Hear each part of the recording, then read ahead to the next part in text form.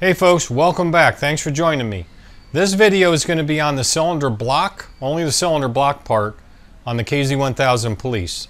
As you can see behind me, there's a cylinder head there. There's a separate video coming out on that. I only mentioned it because I was originally going to do one big long video on both, you know, the block and the head, but it just got too large. So I broke it in half, and this is the other half, of course. I tried the best I could to do this with my editing software, but it isn't the best at this. I think some high schoolers wrote my editing software in a computer science class. I got to really upgrade that. And so, like I said, did the best I could. So if it jumps around a little bit or something seems out of place, that's the reason, but I think you'll get the gist of it. So again, we're going to take the block off the bike, throw it over on Dad's old bench. We're going to stick the dial bore gauge down the side of it. Probably, maybe, most certainly get disappointed by the numbers. then we're going to mic up the pistons and uh, maybe even get more disappointed. But who knows? You got to watch to find out. So with that, let's get right to it, and I hope you enjoy the video. Hey folks, it's time to start filming the next uh, batteria of clips, or battery of clips. And we're going to put into the, um, the vault and assemble another video on this police bike.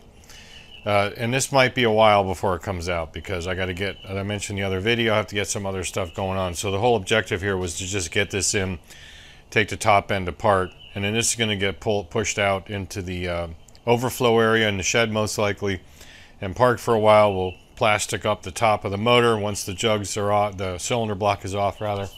And then um, you know it'll be ready for reinstallation when we get to that point. So that's what we're going to do here. I'll set you up. We'll take the cylinder block off just real quick. Shouldn't be hard at all considering this thing's already pretty loose. Um, and then usually they're not. Usually they're like cemented on and then uh, we'll take it and set it over on the bench and we'll take a look at it and do some measuring with a bore gauge. Uh, we'll um, at least uh, take off one, if not all, of four of the pistonians. At least get an idea what the piston to uh, bore clearances are right now with the pistons that are in it. And it's going to be what it is, I'm telling you right now. I mean, I've already got a lot of money invested in this besides what I put into it originally. And uh, and also, you know, what I had to pay for it from previous owner and what I just ordered online to do the top end, which I explained in the other video. So anyway, let's get with it. I'll set you up and we'll do it. I see a fat guy in the reflection. Cylinder blocks usually have pry points that are built into them, reinforced up in the front here. Don't know about in the back, I don't think so. To break them loose, like I said, this one was coming loose. Yeah, see, this one's loose already. Uh, usually, again, these things are just cemented on. Let's get the removable part of the tensioner out. The other part is held in down below. It's the part that rocks back and forth like on a hinge.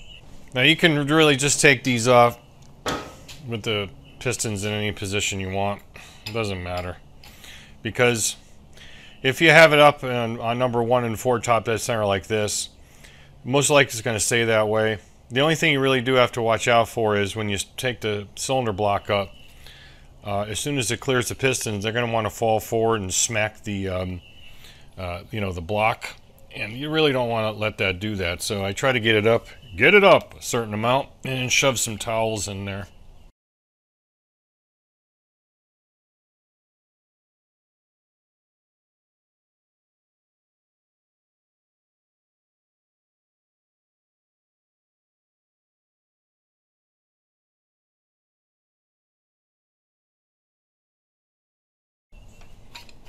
All right.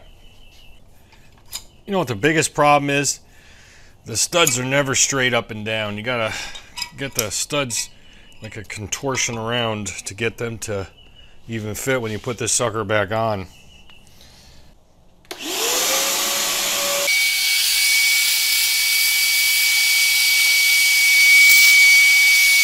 I don't think I've ever seen a base gasket on any engine. I haven't done a ton of these inline fours, I'll admit that, but you combine all the other singles and things like that I've done over time, a base gasket that comes off that easy is always a good thing. Uh, usually, like I said, they're cemented on here.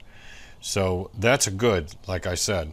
So we're going to um, just, uh, you know, protect these little holes for the oil gallery and just kind of wipe it up real quick. And while the uh, 1 and 4 pistons are up in the air, we'll stuff a bunch of rags into the area, drape over 2 and 3 to keep, you know, Jesus pins from springing over that way, or clips in this case. We'll pop out the uh, 1 and 4 pistonians and label them, and then we can use them as a reference uh, when we check that bore out at least uh, for those two bores, and it'll give us a good idea, especially since we can stick a bore gauge down 2 and 3 and get a reference that way. I have this uh, piston pin puller here, but usually I don't need it. I just use it to pull the pin out manually if it'll come out because a lot of times it's just the burrs on the edge of that uh, uh, that groove where that clip sat that kind of holds it up. You can just kind of pull it out. There we go. There's the pin. Pistonian. It sure looks good so far. We're going to do um, cylinder bore size right now, see where it's at, and uh, also any taper or anything like that. Tapering out around this. I have the standards written down, and so what we're going to do is uh, set the bore gauge up based on a micrometer over here that I've set to that number, which is uh, 2.736 imperial. I did check the mic maybe two tenths off, close enough. I don't feel like adjusting it for two tenths. All right, so we're set to that bore diameter, which is a maximum. That's the limits on it. So see what we got this way. Well, that's not too, too bad. That is uh, plus three, I'm sorry, each one of these is a half small the small marks are a half let me let me zoom up on this so you can see you can't see what I'm doing each one of the small marks the hash marks is a half thou. So right now we've got uh, one two about two and a half thou plus. This would be the minus side over here. This would be a plus side. So it's 736 so we're set again for the maximum. And right now that's not bad because we should be at 7, 36, 35, 34, about 33 and a half. Alright, so let me check in a couple different spots. 33 and a half, or I should say two and a half there. That's about just under two and a half. And that is, bottom is, I want to go above the wear line about, yeah, two and a half or so. So we're definitely on the plus side, which is good. That's two, just under two, one and a half. The uh, maximum allowed taper and run out is 2 thou. So if we do this and we look at this again, let me back out. If we look at this again, just to have a starting point at, uh, let's say, just across, and we'll turn it 90 degrees each way. We're looking at, we get a little higher up toward the top, about two and two, just under two and a half thou. Down the middle, about the same. Toward the bottom, about the same. Then we're going to turn it 90 degree. I know you can't see this, sorry. Just under 2. Just under 2. Just under 2. So this bore is good according to the numbers. Because again, our bore inside diameter maximum. They don't give you a minimum or a range. You know, they just tell you the maximum. And uh, let me double check that in the book. Yeah, that's definitely the wear limits. The only standard they give you is the um, uh, bore clearance as far as a range goes. It's one, uh, one well, 0017 to 0027. So 1 in 7 tenths to 2 in 7 tenths. About a half thou difference between the sides, so that was well within the taper and the uh, the um, out of round spec. Now we just take this guy, loosen up the lock, and we can set the bore gauge to it. A 2.734. 25 and 10 would be 35, less 1 is 34. So 2.734, our bore um, ID is uh, 2.736 um, for the um, scrap, so we are within that. Not by much, but it jives with our um, thing because we saw about 2,000s on there. Yeah, we're definitely on there, definitely. Well, it's close, but it's 2,000s under, so hey, we'll take that, right? Now it's time to check our Pistonian. We're going to get number one, which I already have out.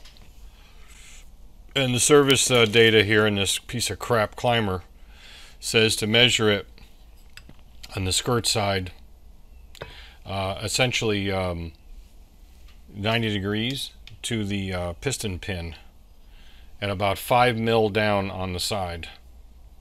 So we'll go about right here and we'll make up a pistonian, get a good feel.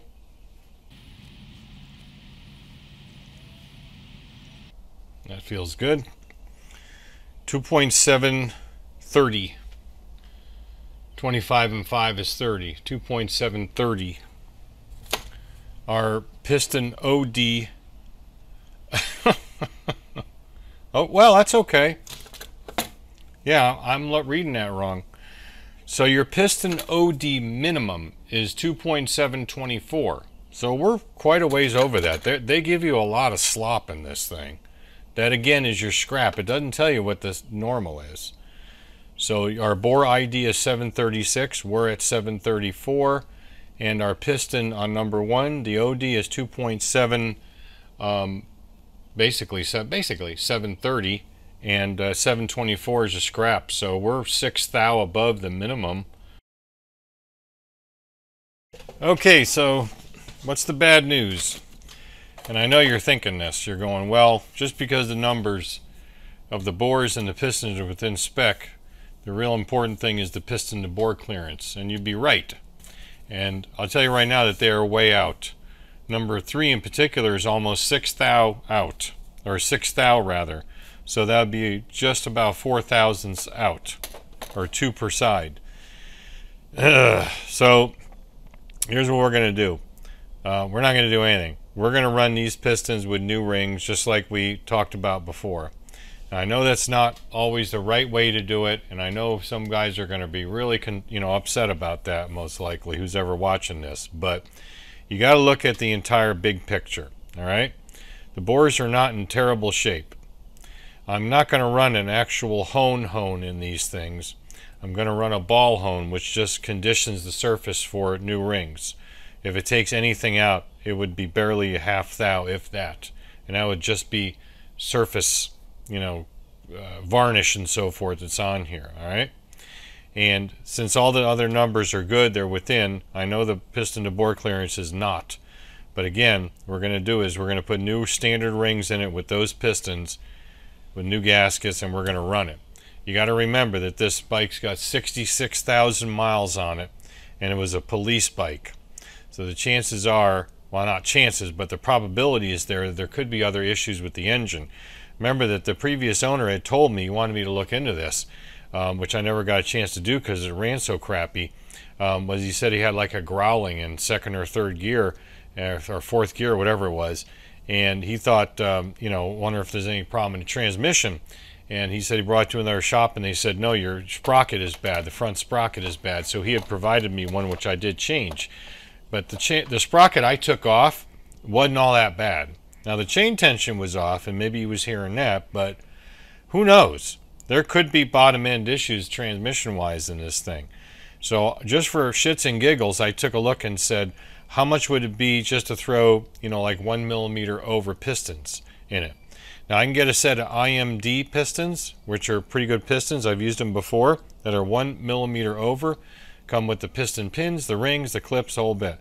It's about uh, 260, maybe with shipping, let's say 300 bucks, all right, to round it off with tax and stuff. So 300 bucks. But I'm going to have to have these bored out for that uh, size, one millimeter over, plus you know a thou or a thousandth and a half. I'd say 1.5 thous because that's what I've experienced before with IMD. They want a one and a half thou piston to bore clearance, so I'm going to have to pay somebody to do that. Um, my neighbor down the road's got a hone slash bore that could do it, but um, that's a lot of material to take off for his machine, so we'd have to send this out. So basically, um, uh, you know, that would really negate any any getting any re reasonable amount of money back on this thing to put another 800 800 to a thousand bucks into this thing. I don't think it would necessarily be that much. Figure, um, uh, well, I, last time I had it done, it was about 280 um, for one millimeter over on a GPZ 750 with a shop that I've used up in Orlando. But then you had to factor in the shipping and you had to factor in some other stuff.